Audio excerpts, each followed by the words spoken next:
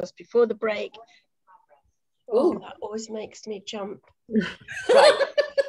Hello, everybody. Welcome to Crafty Crows. We've got a wonderful evening tonight.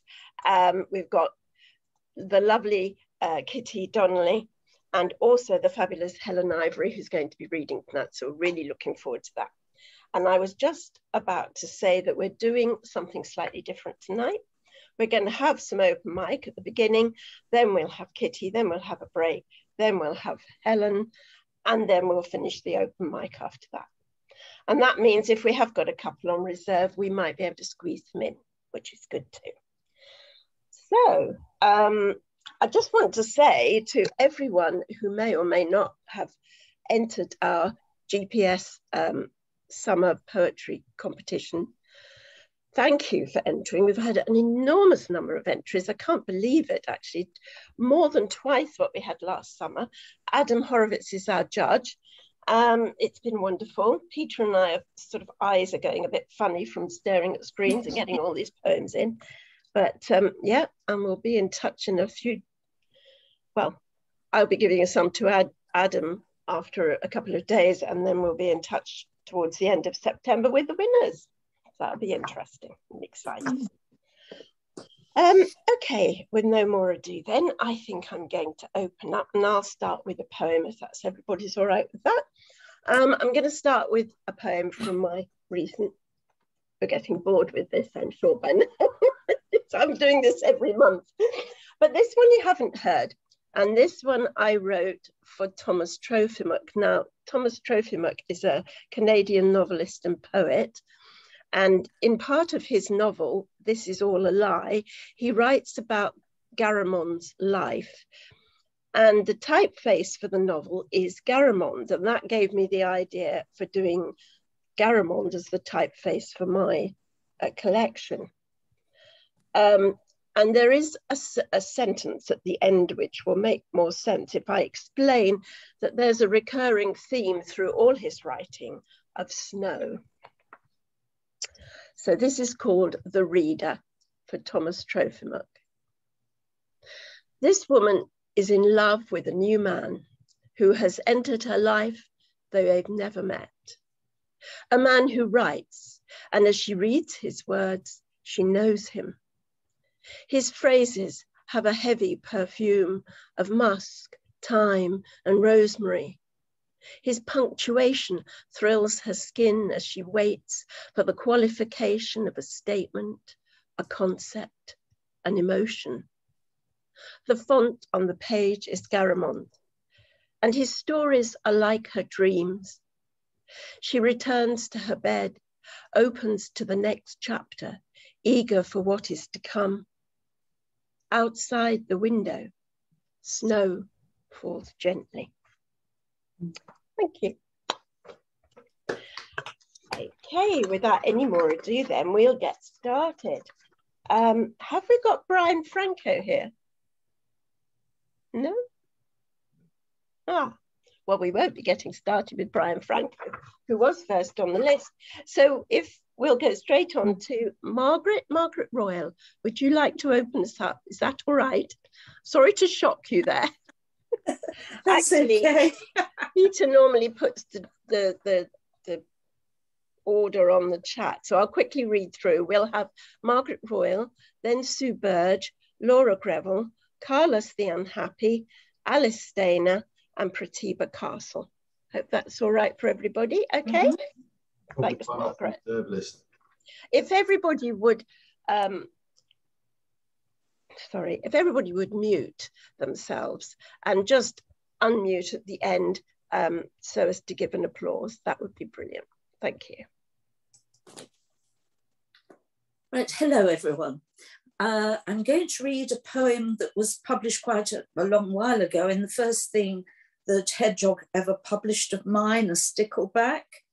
And it's recently been out in Dreich, is it, or Dreich? I never know how to pronounce it, but anyway.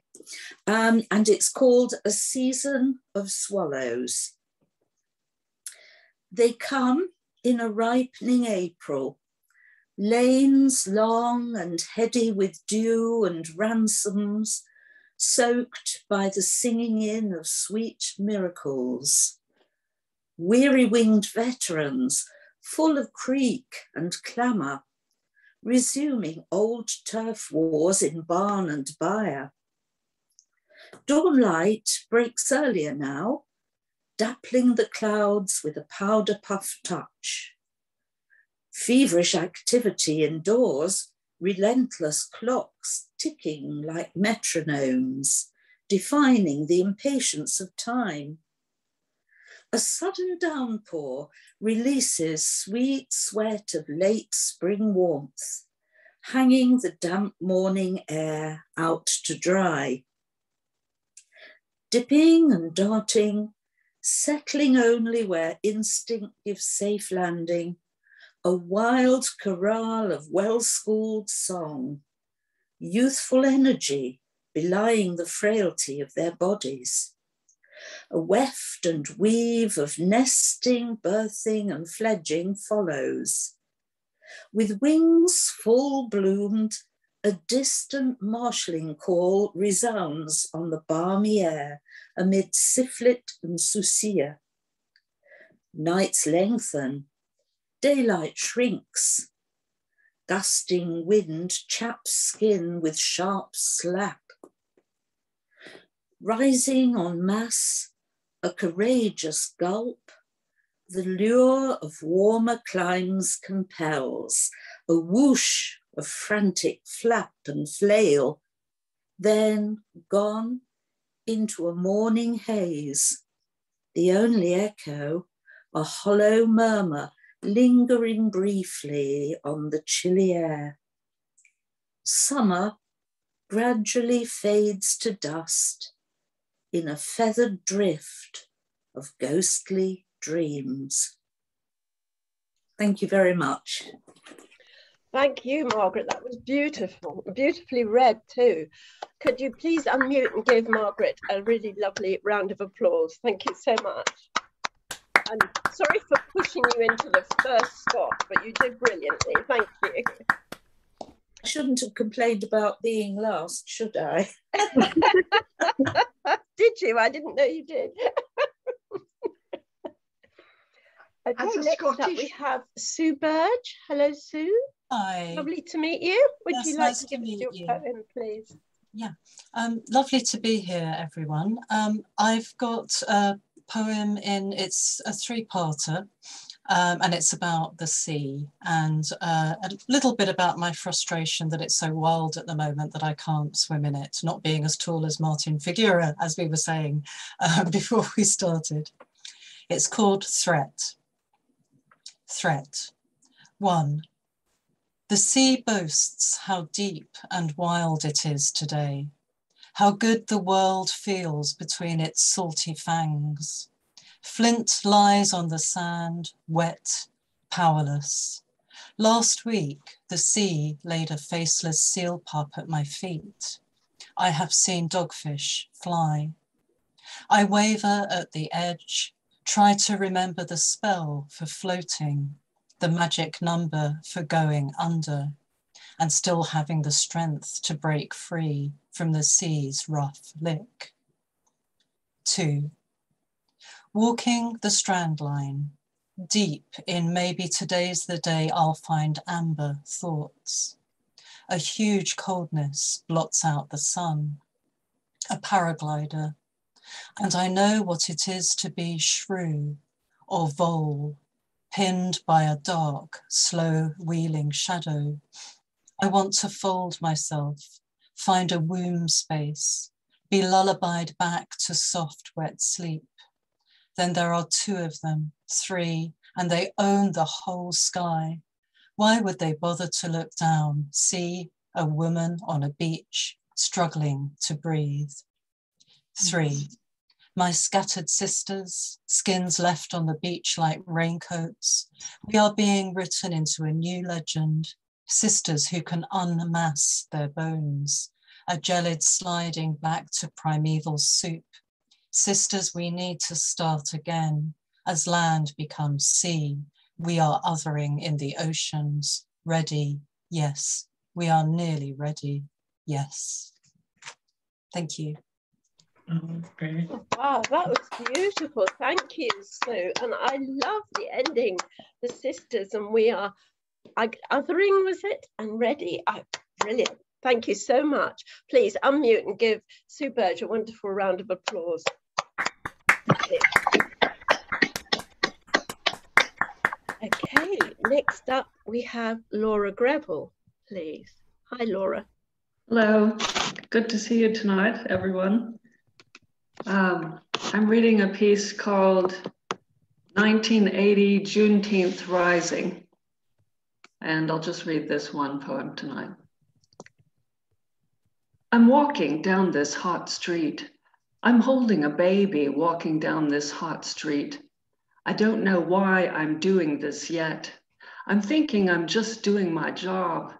I'm a park leader, a skinny white girl, on this second ever Juneteenth parade in Austin, Texas, celebrating the day the slaves heard they were free.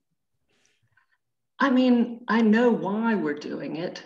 I work at a park, two parks. One, all the kids are black, one is mixed race but it hasn't really dawned that the heat of this march is not just the sweat of my arms, the sweat of this child who is Black, not just our sweat sliding over each other, intermingling and dropping, sizzling on the brutal street as the drums come solemn behind us it hasn't even dawned that the need of this child is not just that this child's mother is at work, not just that this child is a defenseless infant, as the drums come solemn, as the drums come solemn, come solemn. We're marching down this hot street, a gaggle of kids between three park leaders, all squinting into the sun, almost nobody watching from the sidelines, because this ain't Congress Avenue. This street is a backside to ugliness between the Villa Capri Motel parking lot and the Lyndon Baines Johnson Presidential Library parking lot on a street radiating heat, cooking us like stew. But we march on, this baby and I. We made it, sister, and you never complained. At nine months, you knew it's taken me 59 years. Today, I'm marching down this hot street. I'm marching down this hot street with you. Thank you. Brilliant. Thank you very much, Laura. That was wonderful. Very vivid. Please unmute and give a big hand to Laura Trevor. Brilliant. I just love the difference in our open mic. It's so fascinating and brilliant. So next up we have Carlos, Carlos the Unhappy. Are you there, Carlos? Yes, hello. Hi. Hi, so I'm going to do another narrative poem and it goes out to uh, um, all bullied teenage girls the world over. And it's called um, Jenny Brooks, Flaming Schoolgirl. This girl on fire, fire, fire of rising orange hair flowing tall, walks resolute on fire in spectacular flame, walks tall like amorphous orange red fire angel, not stumbling in corridors of derision, but walks resolute, blackens the ceiling tiles, flames flaming, waving all over, walks resolute as she passes all pale arms of once mouthing banshees. Passes around burns as if sweet angel doling out calm assurance, yet scolds with new red burning hot touch. But then, nearing the end of the long school corridor, Jenny of the flame drops gently along the wall, slides down in tragic slow collapse under hot rising firelicks and lies right there in the corridor Outside classroom F8, French, emptied, abandoned. Her body blaze swaying, fading, she curls up on the floor, lies there quiet, as if resting in Jesus's fine, holy wooden stable, blaze in black of still animal eyes, a nodding goat. She lies there quiet, her own eyes closing, content, amid the rising screams as pupils run from the building to chaotically congregate on the green grass out front, crowding under lead skies in their bright white blouses, white shirts, and the bright lights, blue and red, dancing on the wall, the sound of sirens, crying and confusion. The gauze of phony silver sympathy yet to rise. Jenny Brooks, Queen for a Day, Queen for a day of all the world's albino wolves. Packless, outcast, scrawny and famished, a princess of muck with a mind of cuts, who closed down dreams, who bit the night alone, who swallowed the lightning and scrape the stars from the sky. Thank you. Wow. Thank you, Carlos. That was amazing. Please unmute and give Carlos an amazing um, round of applause. I'd love to read that on the page, Carlos. I really would. Thank you very much. Thank you.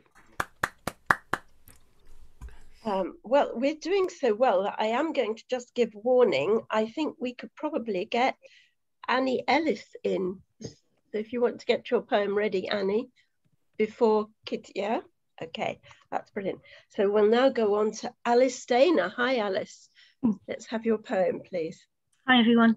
Um, I'm going to read you um, a poem about a tortoise. Um, I really love tortoises, um, and uh, I met one recently uh, called Thomas. So this is the the tale of our encounter um, and it has a it has an epigraph um, to it from D.H. Lawrence called which goes all tiny tiny far away reptile under the first dawn. And the poem is called still life. You are 90 years old but infinitely more ancient. Geological. Our encounter on the lawn is a page from Jules Verne. Close by amongst the flare of flowers a heron stands, petrified. Who is to say which of you is the more alive? Slowed by the sun's subsidence, you wait the lush grass, resistant as granite. My bright energy, profligate, restless, collides with your carapace, ricochets in sunbursts. But you abide, contained, content. Forgive me, Thomas, for I doubted. I proffer a petal, a pop of pink on my palm. Sudden spike as you lunge and champ, and I understand that sometimes there must be a holding, a cleaving to the core whilst the world cartwheels. No need to raise my voice to reach you at your centre. My tender tip gives just a little on your obdurate head, strokes gently, seismically Inch by inch, your head upheaves. From beneath your crust, eyes blaze, and the surge is geothermal. Thanks, everyone. Oh, that was beautiful. Thank you. Please unmute and give a big hand of, of applause. Alice, um, you, you made the creature come so alive. I want to see it. I want to, I want to stroke it. It's brilliant. Thank you. Um, okay, next we have Pratibha, Pratibha Castle. Hello. Hello. Great to see everybody and hear everybody's poems. So this uh, poem, it's from, um, you're probably getting bored with this also. It's from uh, a triptych of birds and a few loose feathers published by Hedgehog Press, hopefully soon. Um, It's a window onto the 60s, the swinging 60s. The only one who loves you. Spurning words that echoed like a curse. I stuffed a duffel bag with blister packs of pills, Mary Quant minis, fantasies of girls threading daisies in the muzzles of guns, escaped to the big smoke. In a bedsit by Kensington Gardens, I massacred steak with the mallet of hate. A year on, turned vegan, pioneer in 68 of pity for pool eyed cows, sheep, slate stair place, feigned compassion, strove to prove to myself that I was worthy of love. Strutted the nights away with flautists, a harpist whose healer's hands strummed my strings. Drummer his silk-tipped stroke nimble on the snare, callous guitarists plucking tunes from smoke drifts, chanted mantras with Ramdas in a basement in Notting Hill, dossed in a Maida Vale squat, candles, Calor gas stove, the one tap, drip, drip in the bog beside the back door. Made out off my head with a sweetheart leaf philodendron, burnt joss sticks to placate Kali's horde of swords, sweeten the vibes, man, stench of catlit, no one from the Highgate commune. I crashed in next ever emptied. Spoon, spooned marmalade from a jar, half full, recycled from a skip, almost believed myself deserving of love, till come the morning I forgot. My heart tenderized with grief, discovering the night my mother died. Love is an ether you can choke or float in. Wow, love is an ether you can choke or float in. What a last line. Thank you so much, Pratibha. Please um, unmute and give Pratibha a really brilliant round of applause. What an open mic tonight. You're almost a feature in yourselves. I can't believe it. Um, okay, next up then we'll have Annie. Annie, you got a poem to share with us? You're, that's right. I do. And this is a true story. It really did happen, and I was in the middle of it. It's called Painting the Town Red. Sand blows between my toes as I sit on the promenade wall. Out to sea, a blue mirror shrugs off seaweed and shells. I look to the skyline, watching sails, triangles of cotton pull at the wind, filling my senses with salt and gulls calling. A dark patch far on the horizon is growing faster as it comes. It darkens the sky, fills the beach with blood. Millions of ladybirds cover everything in sight. The sand, pier, roads, houses. When they cover people on every bare bit of skin, they bite. Like vampires they try to find food, but our skin is too thick. Everywhere they land, they're painting the town red. Gosh, what an experience. That must have been frightening. Brilliant way of brilliant way of describing it both. Thank, thank you, Annie. That was brilliant. Please, a big hand for Annie Ellis. Thank you um, very much. I'm just wondering, actually, we still have a few minutes. Maybe we can squeeze one other person in. Um, Doc Janning, where are you, Doc? Are you there? Has he disappeared? I am here. Hi, Doc. Sorry to put this on you, but um, we might as well squeeze our reserve in if we can. Um, so please, if you could would like to read a poem, just one, that would be brilliant. I think I could manage that. It's titled The Tao of Love. Within the Tao of a deeper forever flows an essence, the essence of love, a profound truth, a truth expressed by sages and philosophers, prophets and poets, in all the thoughts and dreams and languages of time, in all the explanations, extrapolations, and interpolations, exploring its myriad meanings, facets, and dimensions. Love exists within sunrise and sunset, day and night, dark, light, and shadow. And love exists in all the shapes and dimensions of the multiverse, echoing, shining into the forever, beyond forever. Thank you. Thank you, Doc. That was lovely. Thank you. Lovely note to, to end on. That was brilliant. Please unmute and let's have a really big hand for all our open micers so far. That was fabulous. And I'm just going to run through Margaret Royal, Sue Bird, Laura Greville, Carlos the Unhappy, Alice Dana, Pratibha Castle, Annie Ellis, and Dr. Dunning. Brilliant. Well done.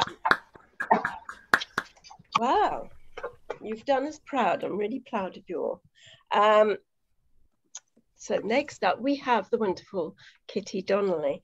Um, and I first found about Kitty because I was reading one of um, Nigel Kent's reviews, which I don't know whether you've come across them, but I was reviewed just last week, which I'm very pleased about. And Kitty was reviewed a few uh, weeks ago, uh, months ago, actually, I think. Um, and I, I, she, her poetry book, The Impact of Limited Time, is a wonderful first collection published by Indigo Dreams in 2020. She has degrees in English, mental health nursing, and an MA in creative writing. Kitty won a Creative Future Award in 2019. She has worked in mental health services for many years, but she also does house clearance and, and animal rescue, which is quite intriguing. Um, she has had poems published widely recently, including Mslexia, The Rialto, The Honest Ulsterman. She lives in West Yorkshire, although this is her 32nd house move and she's lived all over the UK. Her roots are Northern Irish. Um, I would just like to say I am another peripatetic individual, uh, Kitty. I've lived in 30 houses. You've actually beaten me. that is amazing. Anyway, could we have a big hand for the marvelous Kitty Donnelly? Thank you. Thank you. Um, the first, thank you for having me. Um, by the way. Thank you very much. And I thoroughly enjoyed the open mic. I thought it was absolutely fantastic. Um, the first poem I'm going to read tonight is from my collection, The Impact of Limited Time. Um, it does it does have swearing in. It's the only of one of my poems tonight that does, and um, so I do apologise if that offends anybody. Um, this is the poem I entered into the Creative Future Award um, in 2019. It's about growing up in poverty in a small um, West Cumbrian town, and it's called The Flat Tops. The flat tops, they called this line of concrete prefabs. Two years here, the rent man said, and they upgrade you to one at t'other end with a roof a desiccated mouse hid in the workings of our handout cooker. Life went backwards. I slept in my school uniform that autumn, dreading the dawn chorus, my tongue turned against me. By the coal hole at night, I watched chimneys breathe in unison. Our own fire laboured to smoulder. In the crescent where graffiti swore, fuck this, fuck that, I dialed childline, cause it was free. The listener a touch too keen for each instalment. It was my own voice I chased down the wire and found, unjudged but flat as parchment. Thank you.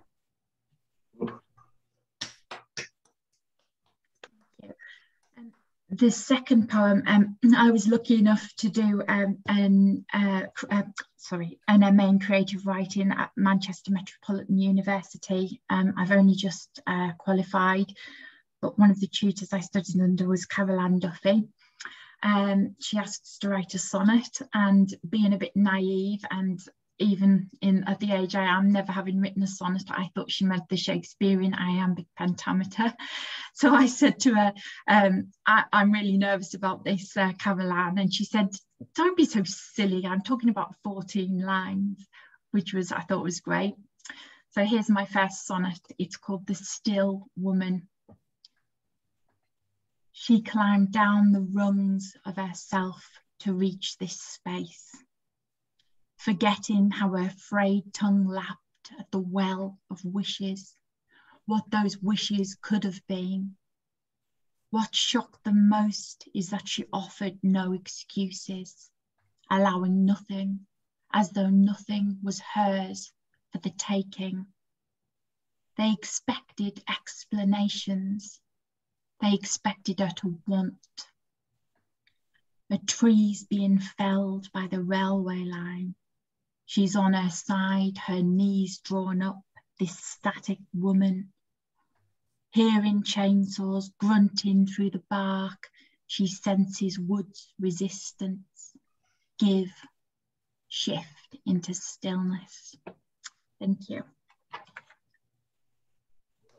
So the third poem is about my hatred of bureaucracy and the um, the various laws and things that make it very difficult for people that I've discovered over the years, particularly working in mental health services.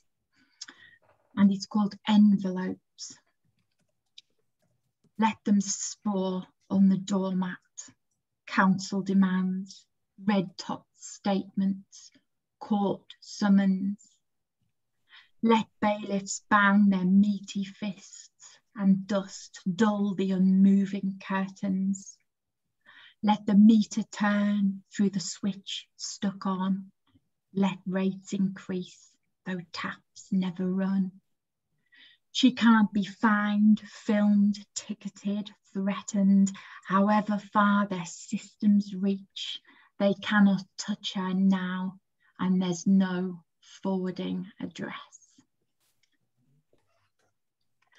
So um, Josephine mentioned the drop-in um, with Nigel Kent, which was um, fantastic. And uh, I loved Josephine's and I loved also doing that. It gave me some insight into my own poetry actually.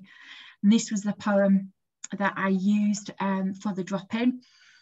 It's actually based on a, a true story um, told to me by my dad, um, who's from Newry in Northern Ireland, about a relative who, um, who vanished in the early 1960s and has never been found until this day. So it, it appeals to my sense of mystery and it's called The Relative Who Leapt from His Breakfast and was never seen again. Was it the monotony of morning, its blase light, drowsing in the room where the Virgin promised over the mantle all's eternally well? Was it the sooty hollows thumbed beneath his Noreen's eyes?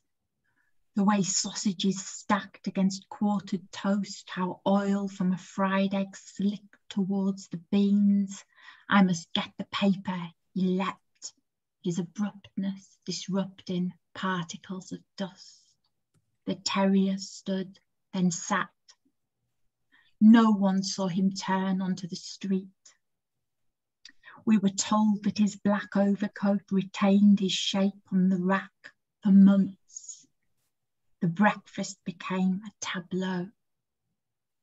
Loyally by the door, the wiry terrier waited in character, mourning for a master that not only did not come, but never came.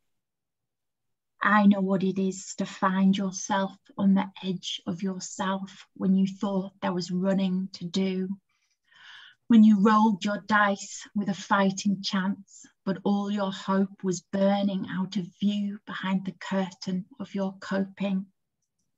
Is that where he was, that coatless February, with pockets of cold questions jangling like coins long out of currency? Thank you. Um, final one from my um, collection um, is Migration. I wrote this hopefully to capture something of the um, the autumn when the nights are drawing in and the sparrows line up on the wires. It's called Migration. All night I listen to the fair being dismantled, lie imagining the carousel disbanded horse by horse, the unbagging of goldfish that longed for rush as lost coins fill the mouths of penny falls, the sycamores shawlless. Frost sprinkles tiny gemstones on our flower beds, goose pimpled legs chase covers, Suddenly, hedgerows are restless with seeds of flight sown in a dream. Now, as light sliced by the blind steepens its gradient, ticking engines wait to migrate to the cold roads of England. On ponds and wetlands, geese arrive in formations. Um, and the uh, the remaining poems are hopefully going to make up my um, second collection, which fingers crossed will be published next year. And the first one is a poem about alternative wedding vows, and it's called Vows. Will you hold me with my scant illusions still aflame? Haul me from the crest of a violent dream Steer me towards morning when you'll drench the room in sun and see the pillow cross-hatched on my cheek, my dress slept in. Sometimes my tongue can run and run. Sometimes I stumble into silence, speech occluded. What of evenings when our tempers bark like dogs, the tread of patience bald and shallow? Will you stray from me then? There are ghosts that go where I go. Will you take with my hand theirs? And staying on the theme of alternative um, vows and gifts, this one is about um, exchanging presents. For his birthday, he wants an owl's hoot the flash of a fox, russet in russet undergrowth, a tricky gift to give. She desires an oak apple necklace, the holes for string already gall wasp burrowed through one side of each borrowed bud. No jewelry, no Audi, no Caribbean cruise, but the warmth of fur against her cheek, the shrew her cat brought gently by mouth over park and road to place intact at her feet. He wishes for candlelight where flames weave stories, her arm around his back, pressing with the safety of substantiality. Wants to sketch her when she flicks black wings of eyeliner, wishing he were her She needs his morning racket guaranteed. Dishes clattering as he whistles with the robin. If not this, then nothing.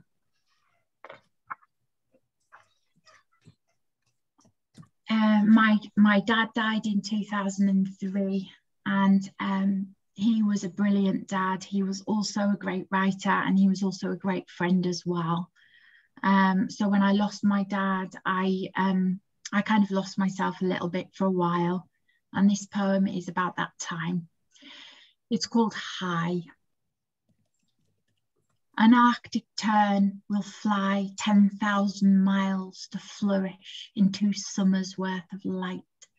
So I was high after he died, chasing sun on the wing, though directionless. I swallowed three green capsules every night, peristalsis pulsing through my scorched esophagus. I took what I could get to alter consciousness, testing my fragmented sense of time against the wall yeah. clock's competence till dawn was salmon red and gutted on the banks of the horizon. I was not oh, sorry, or even near myself. Thank you. Um, I've only got a couple more. Um, I hope I'm not using up all the time here. Um, this poem is uh, called The Goldfinch. It died quietly on my palm, externally unruffled, its body just beyond a living warmth. I fought the dual tragedy and privilege of holding it, unsure at first what bird it was on the turn of becoming. A jag of lemon lightning across each wing, red masked, I recalled the Fabritius painting wall fixed perch, chain clasped like an iron rosary to a clawfoot soar from the wing's insistent rising, the expression marked by an uptilt of the chin, like a child suppressing with pride their furious griefs.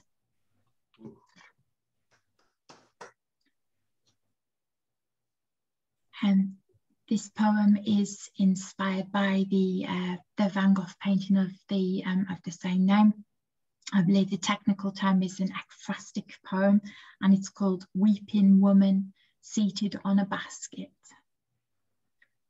She crumples in the middle of her working day, lost balled in her fists, tears slipping over wrists, snaking down sleeves how to carry this defeat, how to complete chores with it heavy as an infant on her bony shoulders. These are the captured coals of her griefs.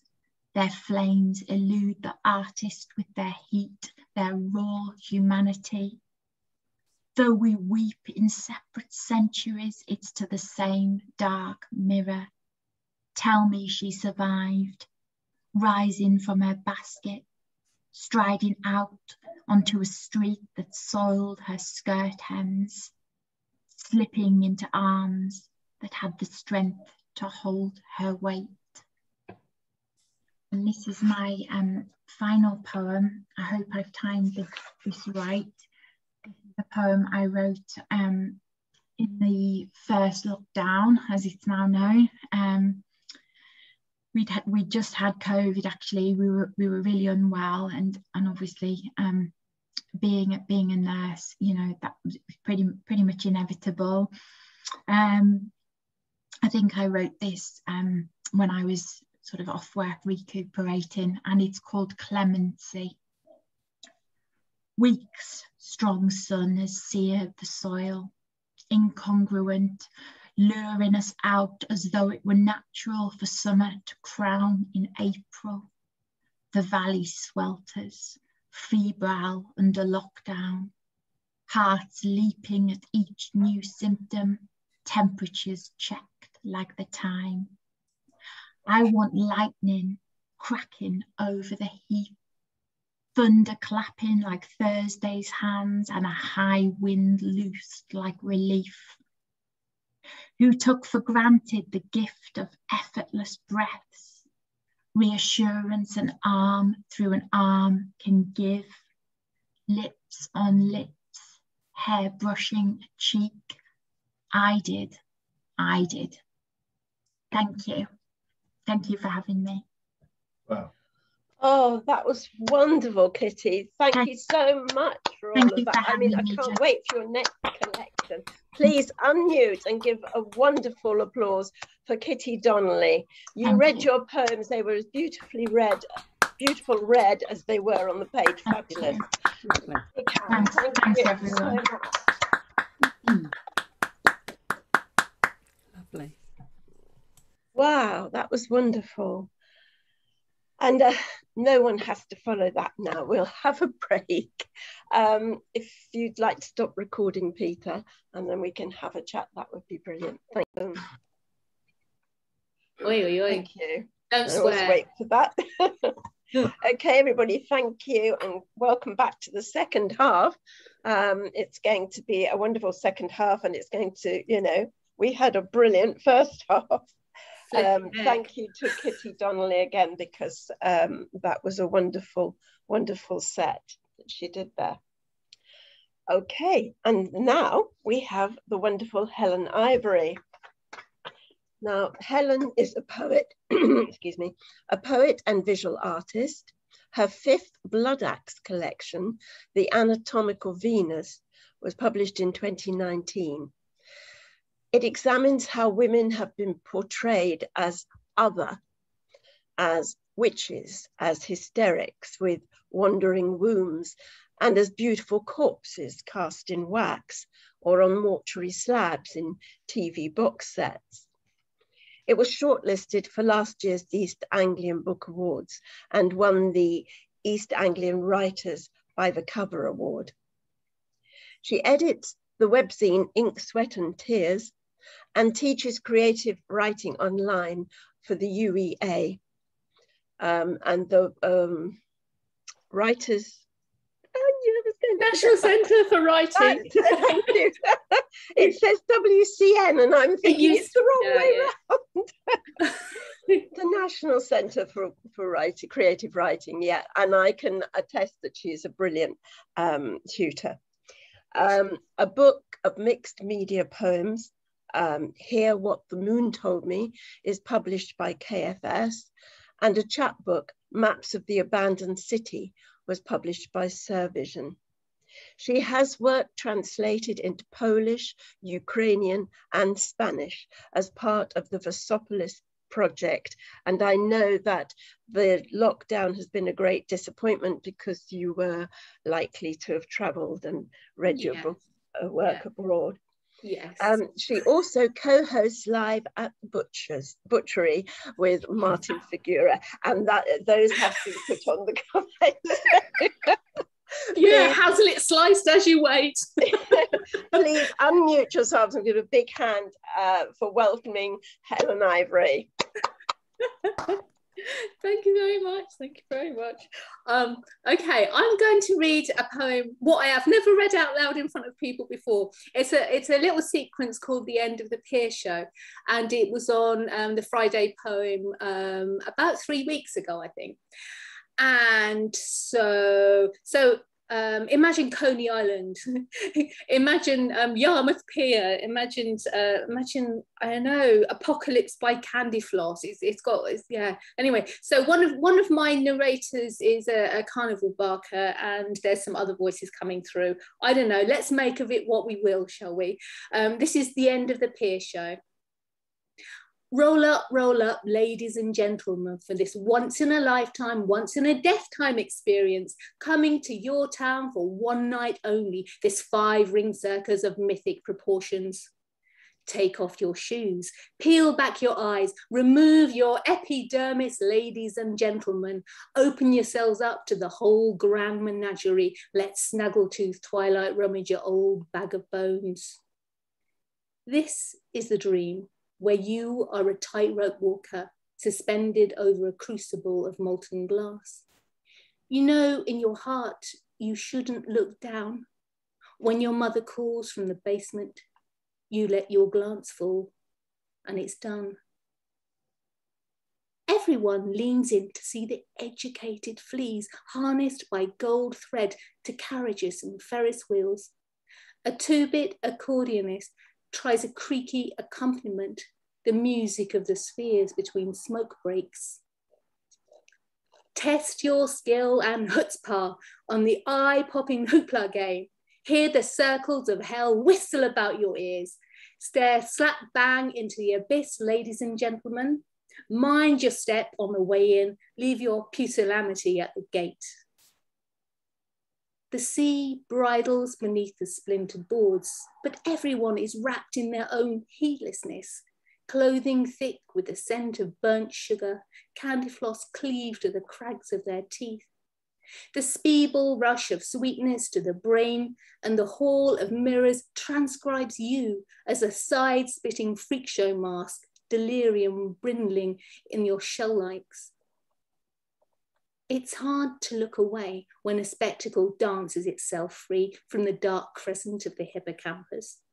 A contortionalist, I can't, uh, yeah, try, you, right, put words into poems what you can't say. I'll, I'll start the, the beginning of this little section again. Right. It's hard to look away when the spectacle dances itself free from the dark crescent of the hippocampus a contortionist tattooed with all seven continents is suspended over a circle of lions by the rope of her hair. And you feel a tightening at the collar of sinews at your neck and the slow creep of centuries up the ladder of your spine. You console yourself with the fact that you are chow for no beast and somehow fall asleep. This is no ordinary act of two-bit trickery. This is Mephistopheles, the great magician. Witness him speak with the voice of a hundred spirits, see beyond the veil. Call forth your drowned daughters, your stillborns, and all your dark fathers. And when the secrets of the universe have been revealed to you entire and your skin a ghastly sheen, Take your dead back home with you again. Let them wild your dim parlour with their graveside flowers. These nights, the voices test you with seductions from the other world as lightning rips through the sky to unearth you. And it's clearer than day when it does, that look on your face as if you have been expecting to be found so incontrovertibly lacking. You hold your soul, that threadbare shroud, to the light, and utter the beats between thunder and lightning as if this tallying might lead to deliverance. The magpies are gathering apace this morning, and the tempest that cartwheeled the sea has smoothed down its skirts and put on its blithe morning face. The pier is dog tired.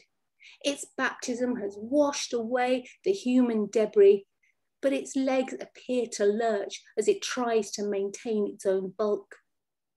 One by one, the birds are called away, and the clairvoyant, the palmist, the dog headed man, and the princess of the sea open up their shutters for another's day's grind. That's the end of that sequence. um, yeah. Um, Thank you. I can so I can see. Yeah. Anyway, hi. Um, so I, I'm going to read you a few poems now um, from the Anatomical Venus, um, which is about it's about women and otherness as how we've been seen as hysterics and you know witches and not quite right and all of that kind of stuff. You know. Um, and this first poem is called The Fainting Room and it's uh, so so the vibrator was used as a uh, to cure hysteria. You some of you might have seen the film. And um, yeah it was invented i think in kind of i don't know i can't remember the exact year but the the 1900s um, but I've, I've, usually got these details down. I'm, I'm out of practice darlings i'm out of practice. Um, by a, a, a, doctor, yeah, as a labour saving device for doctors and husbands everywhere. Um, and all well to do households had a, a, fainting room where ladies could retire to and, you know, loosen their corsets and breathe and, and that. Um, so this is the fainting room. When they laced me tight this morning, my body split asunder. Clouds heaved themselves across my eyes. Nobody heard the crack of rib or witnessed the small moth my soul slip from my mouth. All day I felt the separation so keenly, yet the household continued about me as if unaltered. When Nell came to dust the parlour, I feared my soul my little ghost settled on the mantel. At dinner, my soul watched from the wallpaper as I raised the soup spoon to my lips. There wasn't space beneath my corset for a single bite. I rose to reach my hand out, but her wings blurred ash. I felt the table and the diners fall away. I woke inside this little room to find the doctor had been summoned with his new mechanized instrument. My binding had been loosed. The doctor applied the treatment until a paroxysm possessed me. I breathed deeply of the whole earth. My soul flew into my open throat. My husband dropped some coins into his hand. In part of my my research, I was Googling like you do, and um, I, I, came across an, an article, I think it was like um, 10 signs you might be a slut, um, which I thought was kind of useful, useful um, checklist. And because of the reading, other reading that I've been doing, um, I I just took the language back a little bit. So this is six signs you might be a slattern. Are you a little draggle tail? Do your skirts be devil leavings from the gutter? When you take a turn around the park, do bitches very close and claim you kin? Are you wanton in your daily intercourse? Your ankles grind your lip-stained cochineal? And how's your baking lately? Is your dough a coffer for sluts' pennies? Do you hear ill clamouring in your breast? Is there a midden where your heart should sit? When a caller raps, does your front door acquiesce directly, the catch already sprung? So many questions. Another thing that I was reading for the anatomical Venus um, was the Ladies' Dictionary, which is very handy, um, by someone called John Dunton, and it was written, um, put together in um, eight, 1684, um, and in it he put all things that he thought ladies should know. Like there were lo- there were lo- just loads and loads of pages on how um, he liked ladies' hair, which is blonde and how to keep it blonde and there was lots of blonde and there was lots of hair. Uh, but there, yeah just lots of really you know dictionary things. Anyway this so th this is the entry for anger in ladies etc um, makes a beauteous face deformed and contemptible and separates roses and lilies by quite removing one or the other out of the lady's cheeks the ladies are ripping roses and lilies to rags. They are broadcasting them like bruised confetti, trampling them into the carpet. So the parlour reeks of death or the mask of death, death spangled up, death sullying the carpet. The ladies are rendering themselves contemptible. They are pollen stained and beastly. They are pouring the floorboards. Now they will lecture you on how to wear your hair, Mr. Dunton, how to cover your shame they are sharpening their knives. So continuing the theme in anger in ladies, etc. My new collection, which I'm um, putting together, writing, doing loads and loads of reading, reading um, is going to be called How to Construct a Witch. And it's, it's how, how um, yeah, society has constructed this witch person. Um, often, you know, a woman about my age, you know, um, just you know maybe lives on her own ha- has a cat i don't know anyway i'm doing loads of reading so this first um, this first poem i'm only going to read two new poems um, and um, there's in the pendle witch trials um, margaret johnson um, she confessed to being a witch. Some people were accused. She confessed and said she went to the Sabbath. She was, you know, she had the party with all the other witches and she did the flying and, you know, the devil, you know, the whole, the whole shebang. And in the Pendle witch trial, she was declared not a witch. And I thought how massively disappointing that might be. Um, so this is Margaret Johnson, 1633 Pendle witch trials. Days were motionless, drab, and I was a sack of bones in my widow house. Seven years this went, part sombre, part vexed, wholly disremembering of the sun. Then he came, all silk garbed, all sleek furred, and the promises. It was as if he'd heard my prayers indeed. He pricked my flesh, sucked my slow blood till I quickened, and felt my spirit siphon into him. Though I repent this transaction now, I had no prestige until the devil lodged his shadow at my hearth. Since this trouble hatched, he has forsaken me.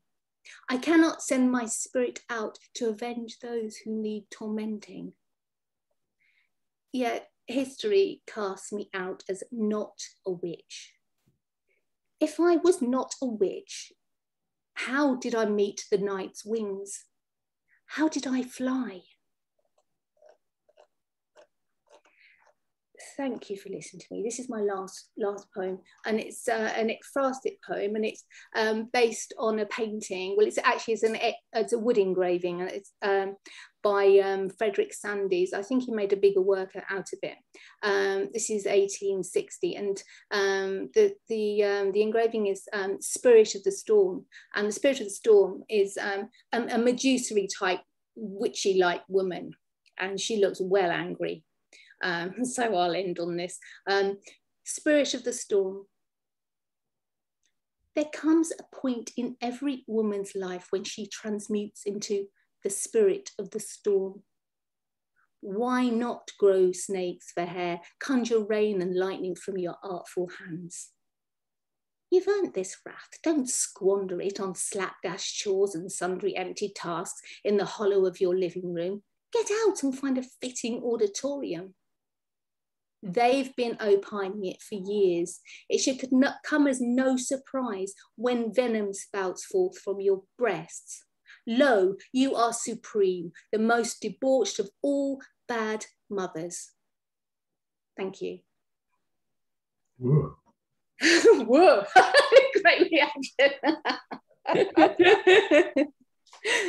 that was absolutely fabulous. Thank you so much, Helen. I mean, you you started with us being at the circus, and it was really like being at the circus, a, a circus of life, but definitely a circus. Fabulous. And the worlds you weave, and the fact that you make felt creatures, including crows and small white dolls, is leading me to wonder Yes, yes, Josephine, yes. would you like a poppet? Would you? Would you? You're not the only one. anyway, please, everybody, would you just unmute and give Helen Ivory and the most fabulous applause? Thank you so much. Thank you. Thanks for having me. There's a witch around, I think we found her in the loveliest possible way. In fact, it makes me think witches are wonderful.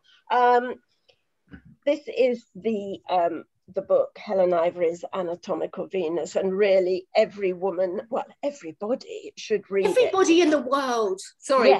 Yes. would you like to put on the chat, Helen, how they could get it if I they will. would like it? but it's a fabulous book. Can Thank you, you so so much. Whoa.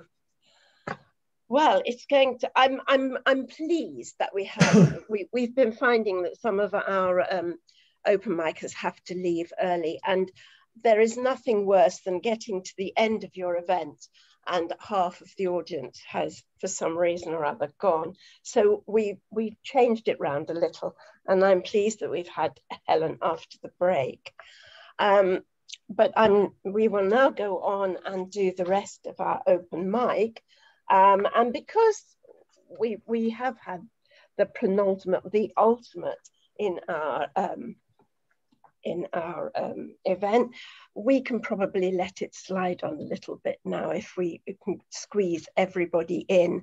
So as well as the people that um, Peter's put on, which is Ivor Den Daniel, Helen Shepherd, Anne MacDonald, Gerald Kells, Jason Conway, I don't know that he's here though, that might not happen. Chris Dickinson, Clive Osman, and also Finn Hall and Julian Matthews. So, Chaucer. pardon? And Chaucer.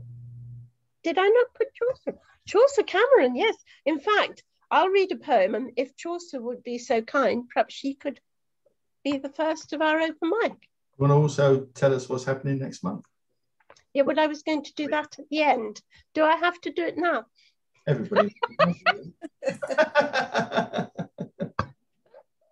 was going to leave that to the end. Um, I think I still will. My decision. okay. Um, so Chaucer, um, I'm going to read a quick poem myself, and then Chaucer, if you'd like to read yours, that would be brilliant. Um, and I'm just wondering what what what I can do actually. Um, oh, I thought I had it. I'm so sorry. I'm holding everybody up, but it allows all those waves of Helen's wonderful words to die down so that everybody else hasn't got to follow that. It's good. Um, I'm going to do um, Medusa in Love, and this is um, it's an alternative version of what happened when Medusa was killed. Um, and I was at a workshop with Anna Saunders, and she wanted me to write about mythology. And I don't very often. And so, being awkward as I always am, I decided to write an alternative version. So, this is called Medusa in Love. My sisters sleep while I protect and guard. Many will say, I sleep too. Not so. I see him walk towards our cave, watch the gleam of sunlight on his sword and shield, know my time has come to be destroyed. I love this youth and lower my eyes, feeling no desire to curse. I listen to the hissing of my hair and know how monstrous I've become. Gone the beauty with heavy tress, falling to waste, capturing the devotion of men and the lust of gods. When Poseidon strode into the temple, I was curious. Did a moment of temptation deserve such disgrace? The young man's shadow passes petrified forms of those who've dared to look. He unsheathes his sword I catch a glint of light from the surface of his shield. The snake heads writhe and spit, venom dripping from their mouths. But my heart grows as heavy as stone. And as his sword steadies for its stroke, I refuse to look upon his face. Okay, so if we could have Chaucer now, please. Chaucer Cameron, brilliant. Hello. um, right, it's lovely to be here. Thank you. Um, it's always nice to see you. Um, I'll. I'm going to read a poem that actually is is more page than than oral, and so um, and it's more lyric than narrative so um, and it's probably not as accessible uh, but anyway i'm going to give it a go because i haven't done it much um, and it's it's on the theme of um, still on the theme of, of what I write about with from my pamphlet um, on on prostitution, and it looks at um, uh, uh, grooming and then disassociation, and then what happens from those acts of violence. Um, but there's a slight content warning. What fresh hell is this after Dorothy Parker? Lesson one. The sky yellow red, dust and sandalwood, blood scent in the air, sweet musk metallic. School gates closed, light green gingham from front zipped pleats. Book bag hangs heavy on the shoulder a four wheel drive parked across the street, hot engine silent, pleats spread, lift as front seat clicks. Lesson two. What fresh hell is this? said the girl. Unhinged, you say, fiction harnessed to a raft, perhaps fast spring rivers Who wrote that quote? I've grown, grown weary of oh go gentle. What fresh hell hath no fury when stirred and twisted? Gentle looks like any other salad. The artichoke is stripped, exposing one small heart. What fresh hell is this? A mad girl on a raft. No memory of who wrote that quote. Lesson three. This class is 60% lecture, 40% class participation. A partner is not required. Learn skills that will help avoid common injuries, techniques to enable feelings of fulfillment, mindfulness, connectivity, and trust. Look, a step by step guide for beginners, a swing by swing guide for advanced. This lesson is appropriate for all skill lev levels. Gain insight into the disembodied art of surrender. Appreciate the singularity of the art of suspension, the twist of cat's paw, lark's head. That's it. That's really good. Yeah. Thank you so much, Chaucer. That was amazing. Excellent. Please unmute and give Chaucer a really big hand. Thank you. Okay, next up we have Ivor. Ivor Daniel, are you there? Hi, thanks everybody. Hi. Uh, this this poem is is going to appear in um, I Am Wave 7 in a couple of weeks. So thank you very much to Mark Anthony Owen. Perfect bed. I dream I am at Bembom Brothers, Dreamland Funfair Park, with Tracey Emin. Hard by, Margate stands. I know I shouldn't drink that vodka on the Helter Skelter. Apart from that, a day as perfect as the Lou Reed song. We kiss with fish and chips lips, join hips, a turn of sunset going down. I guess it is the golden hour. Blair's babes, and even some of his men MPs, are busy, changing a whole heap of things for the better. Back in your room, we remember that. We even changed the bed this morning.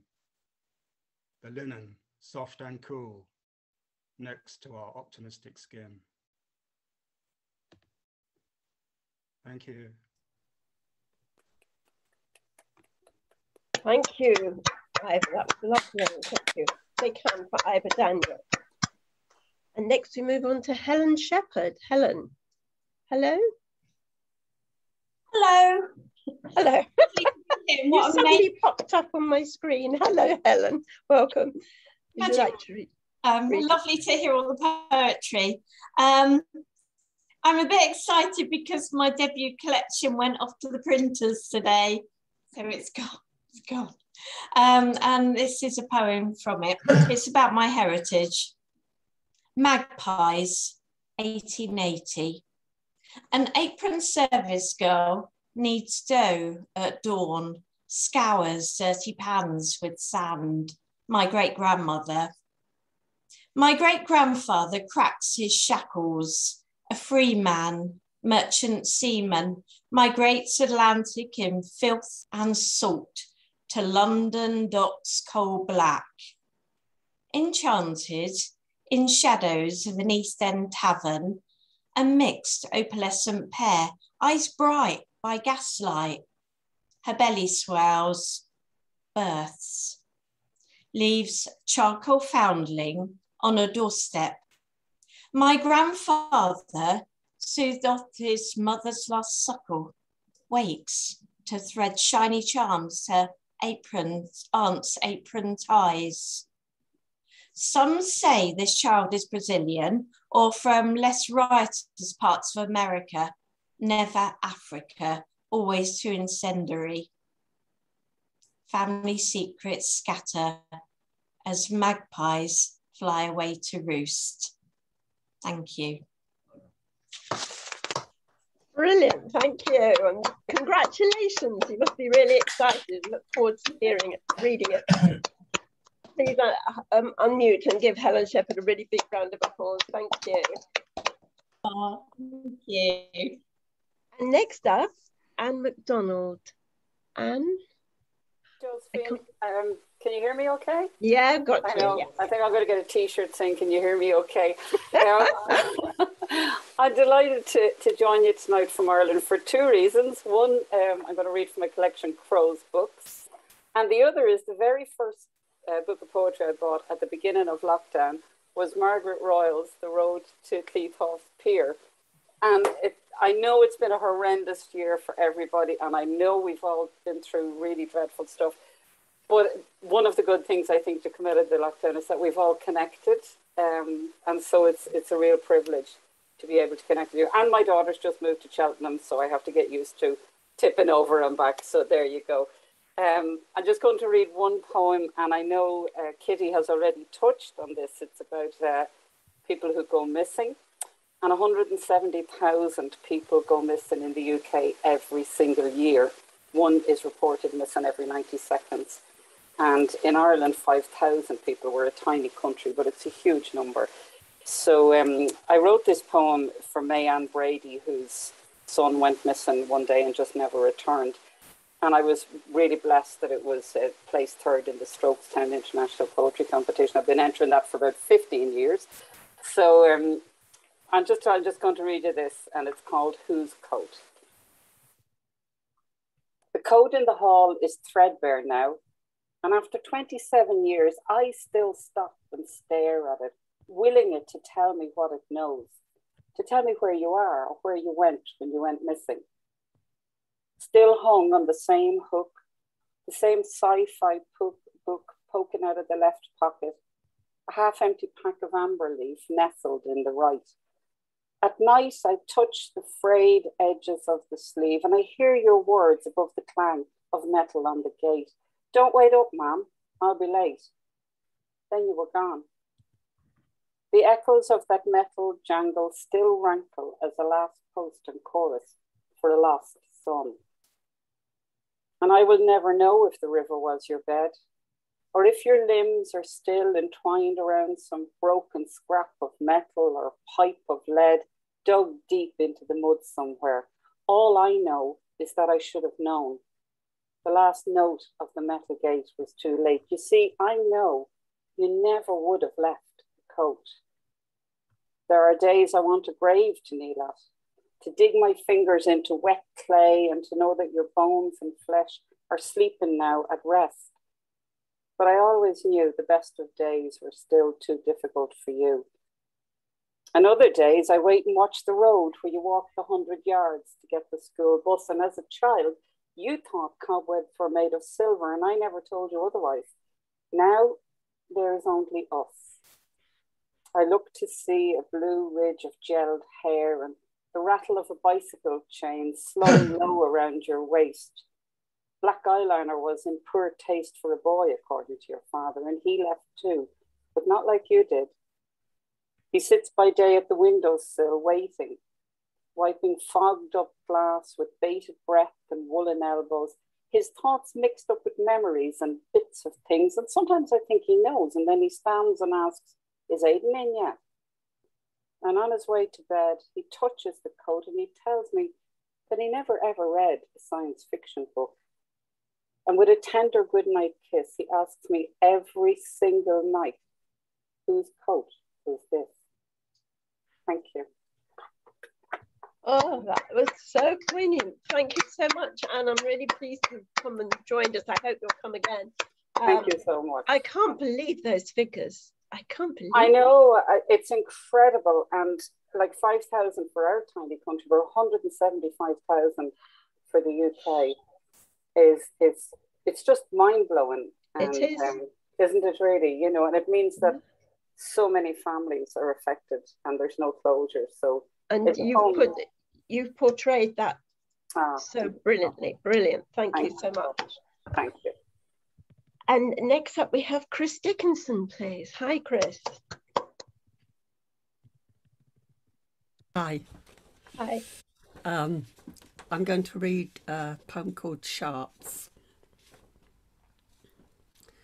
Grandad stippled soap with a brush to work lather in a mug, looped the leather belt he threatened to paddle his son's hide, latched to skirt the window catch in the scullery, yanked a tightrope to strop the cutthroat blade. Dad honed the carving knife with steel each Sunday in the ways of his father, crossing arms in a swish of rapier swipes. Shocked us with blunt words when a razor snagged his chin after his wife's furtive shave. Mother kept her secateurs well oiled, popped in a penny pocket, handy to to the washing line. She would interrupt house chores to snip recalcitrant runners, a rush of tendrils, the rampant climbers. Her eyes guide my elbow trimming flowers. Not roses or rare bouquets, but bargains scooped from buckets on a cut through the market, bunches licked into shape, quick as a flick of her tongue, blessed with smi- sighs, that toothy smile. She hid a Stanley knife in the kitchen, knelt at our feet to let down hems, mouth pinched with pins, taught us to point sharps inwards, spare others at all costs. Lost needles were a sin. Those tools worn smooth in her hands, mould to mine. Dressmaking scissors, the pointy embossed gold cranes to sever threads, innocent Bruno tobacco tin, swaddled in felt, earned through toil in a shop, lit with silks, wool balls, kaleidoscopes of cottons, tough as teeth. We wrapped our penknives inside handkerchiefs, used that spike to pry stones from horses' hooves to gouge initials in wood. We learned to ignore hurt, suck the cuts, not complain. Damage meant we'd only ourselves to blame. Thank you. Oh, thank you, Chris. You always do the sort of nostalgia of the past so well. It's brilliant. Thank you so much. And straight on, please, to Gerald Kells. Hello, Gerald. Hi. Ah, you're still there. We haven't we haven't sent you to sleep yet. No, certainly not. And wow, that was wonderful. Um, I, am going to do a new poem um, uh, while I was looking at the the pictures of the one of the airplanes coming out of Kabul and the kind of firework display behind it, and it led me to write this. I guess we all feel some impotence, but this is about that. It's it's called "Carry On Kabul." The A the A400 transporter rises above Kabul airport sends its fireworks into the hill flanked sky.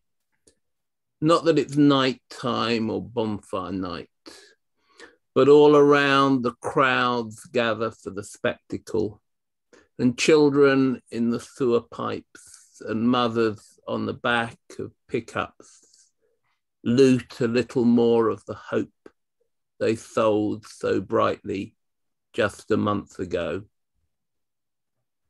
There are so many checkpoints to cross, so many serious gangsters toting Kalashnikovs, their beards dragging religion into brutality. So many radio connected sunglassed Americans holding court, weighed down with weaponry that could never conquer hearts and minds. So many wrong turnings, they pockmark this obstacle course of guns and gimmickry. All those aunts and uncles in England and France and Canada, all those news feeds stuffed with calm and collected explanations, all those great men pushing responsibility aside, despots with no dust on their shoes. After the fireworks display, best to return to your safe house, perhaps to sleep for a while and in between to read The Kite Runner or watch Carry On Up the Khyber. Imagine how Kenneth Williams or Sean Connery and Michael Caine could have done a better job of writing the world. Me, I'm eyeballing the great betrayal from the far side of a television screen, these extremes more extreme than extreme. Maternity hospitals, children, schools, girls, targets that are only targets in the mind because elsewise, how could somebody do a thing like this? And I'm wondering when this circus is over and the firework party's done, who will lead the forgetting? Will it be God or man?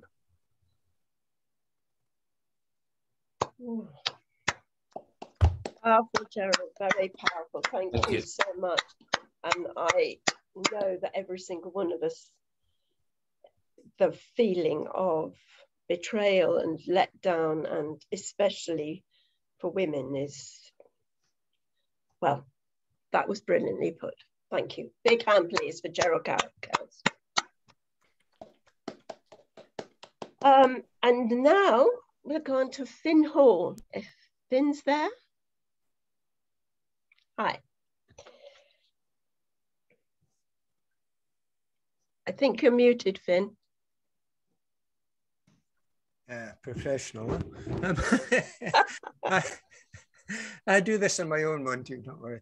Um, I um, thank you for letting me read tonight. Yeah, thank you. Um, I'm going to read from my new book, which is called Once Upon a Time. Doesn't show great on there, does it? Once Upon a Time there was, now there isn't. And I actually wrote this piece uh, back in February for uh, a Valentine's Zoom that I was doing on Nabil Ahmed's Valentine thing.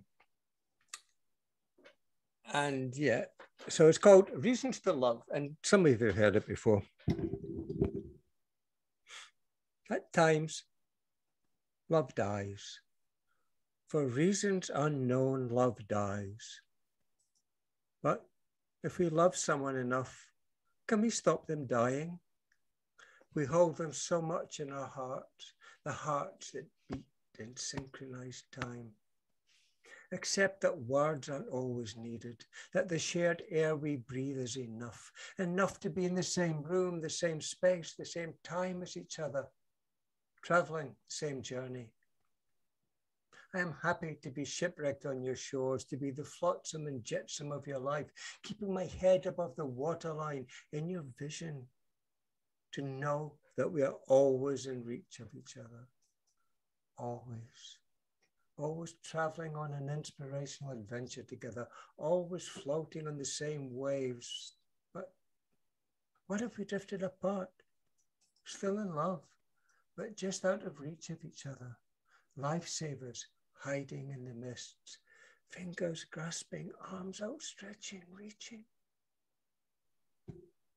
Then beached up, face down in the sands of time, gasping for air, wanting to share the air with you, cast away, far away, away you are, so far.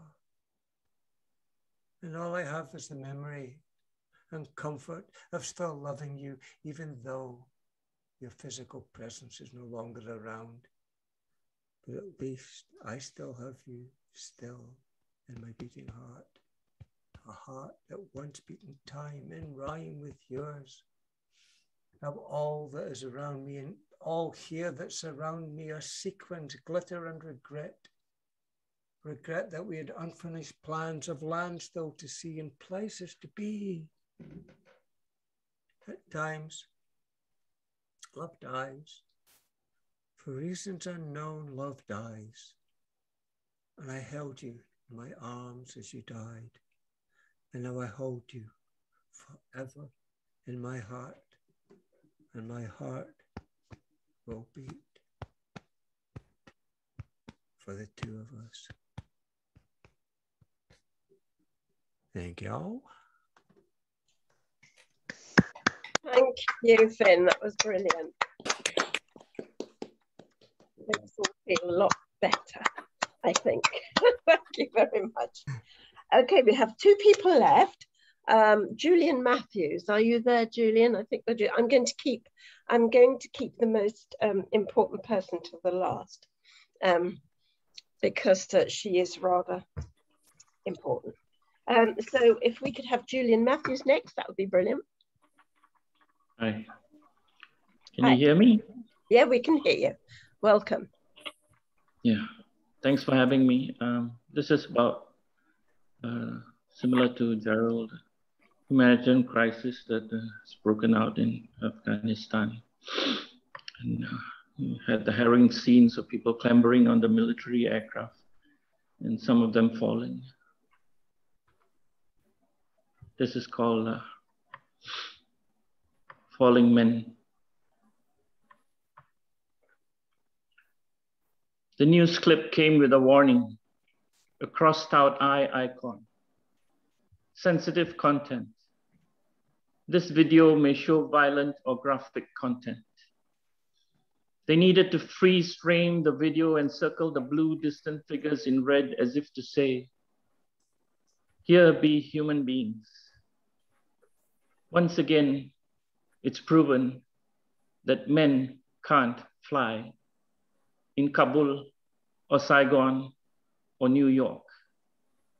The lesson of Icarus is Greek to us all, even to the literate. History repeated, men defeated. Pilots, like leaders, can destroy or save the day. It's all perspective.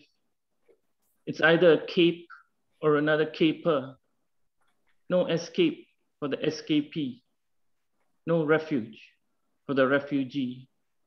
But there are no heroes here. Just the quiet desperation of silhouettes in midair. Human beings with hearts and hopes and dreams, now crumpled bodies on the tarmac. I'm reminded of the photo of the falling man of 9 11 the sharp, focused outline of another human being in midair.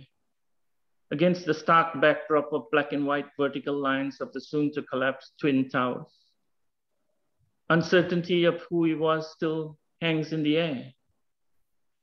They say he may have been a staff at Windows of the World, a restaurant in the North Tower. The body was never found.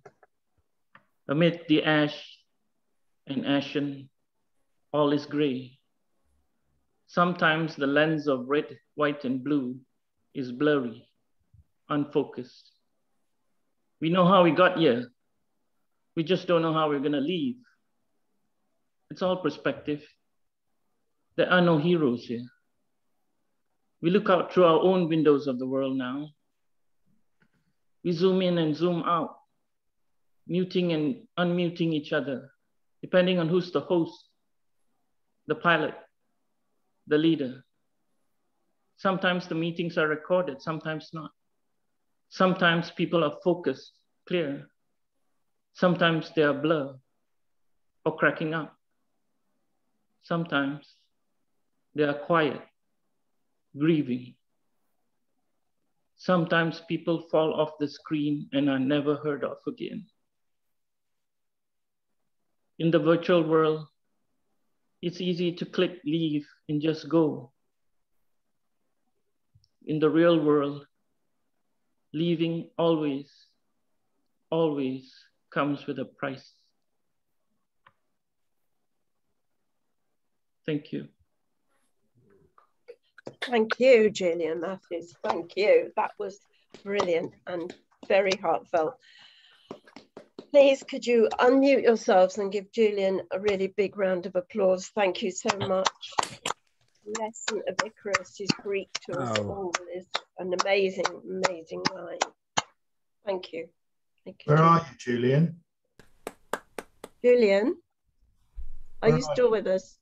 Could you Yeah, just tell us where where where are you in the world? I'm in Malaysia. You're in Malaysia. What Thank time you. is it there? It's um uh, close to uh, it's close to 4 a.m. Gosh. Thank oh, you. thank you so much for coming and being with us and reading that amazing poem at that time in the morning. Uh, that really is amazing. Another big hand for Julian Matthews, please. Thank you. I'm I'm now going to stop there for a minute and and t- say about the next Crafty Crows before we have our final um, reader. Um, next month, uh, Crafty Crows will be on the 6th of October, and we're going to feature Sophie Sparham and Ben Poppy. Um, both of those people are very um, interesting and vibrant people. Sophie has just, I think, got herself, um, she's going to be tutoring on the Arvon Foundation, which is amazing. And Ben Poppy has just had a book um, review re, uh, published called We Are Frankenstein. So I do hope everybody will turn up for that. That would be brilliant. Um, and also just to say that yes, the poetry pop, um, competition is finished, um, and we will be getting back to everybody when we've been through everything. Um, Adam Horovitz is going to be our judge, and he's going to have a very, very hard job. Um, and the trawler, which is where we trawl all the poems that are put onto the GPS group page. Uh, we take out the best and we have an anthology each year. That is going to be delayed slightly and will be coming out at the end of October.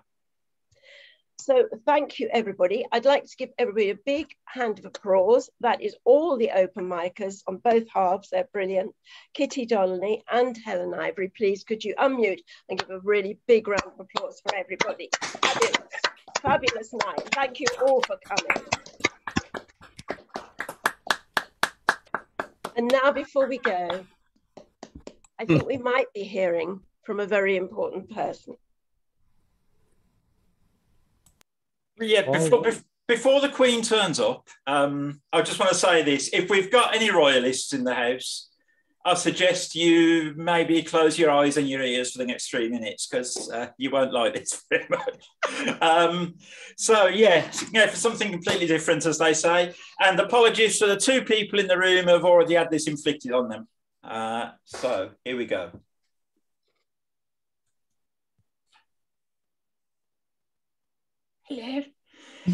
Yes, well, um, at the weekend, I did a 20 minute set without any interference from that terrible Osman fellow. He, he's such a such a pain in the backside.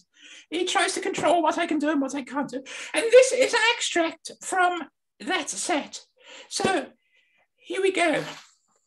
So, yes, it's been a lonely time, of course. I've had plenty of offers. Silvio Berlusconi has been most bothersome with his invites to his cowabunga parties or whatever he calls them. I suppose I could have a fling. People would just put it down to my age, and the family would just contest a will or arrange an accident when I go. And at my age, I wouldn't be pressured to stick to blood relatives. Heaven knows how we have gotten away with that for so long. I'm sure one day we'll have one born with too many fingers or something, and they'll have to wear gloves or move to Swindon. But I could do it, you know. I could. I could have a fling. Because my crandles bring all the boys to the yard, and you knew they're better than yours. Damn right, they're better than yours. Don't touch them. You'll be punched by Charles. My crandles bring all the boys to the yard, and you knew they're better than yours. Damn right, they're better than yours. Don't touch them. He'll punch you hard. I know you want them. The Essex that I own. What Silvio's crazy for. He's lost his mind. You've got to be young. Under 89. La la la la la. Fuck off, Silvio. La la la la la. Young guns are waiting. La la la la la. Berlusconi. La la la la la. Keep masturbating. Crown jewels bring the boys to the yard, and you know they're better than yours. Damn right, they're better than yours. Don't touch them. You'll be punched by Charles. My crown bring the boys to the yard, and you know they're better than yours. Damn right, they're better than yours. Don't touch them. You'll punch you. I see you're on it. You want me to teach you how the crown jewels feel? They can't be bought. Just no thieves get caught. Or chop their heads off. La la la la la. Fuck off, Silvio. La la la la la. Young guns are waiting. La la la la la. Berlusconi. La la la la la. Keep masturbating. Crime jewels bring the boys to the yard, and you know they're better than yours. Damn right, they're better than yours. Don't touch them. You'll punched by Charles. My crime jewels bring all the boys to the yard, and you know they're better than yours. Damn right, they're better than yours. Don't touch them. He'll punch you hard. Anyway, once I get involved, everyone will look this way, so I must maintain my charm. Same time, maintain my halo. Just leave the fellow on. Let him think he has a chance. Security will pounce. It's barely Berlusconi gone. La la la la la. Fuck off, Silvio. La la la la la. Young guns are waiting. La la la la la. Berlusconi. La la la la la. Get masturbating. Jewels bring all the boys to the yard, and you know they're better than yours. Damn right, they're better than yours. Don't touch them. You'll be punched by Charles. My jewels bring all the boys to the yard, and you know they're better than yours. Damn right, they're better than yours. Don't touch them. He'll punch you hard.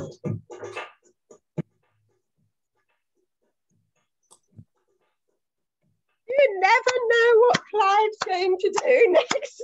oh God, that was hard work. I am 95, you know. Thank you very much.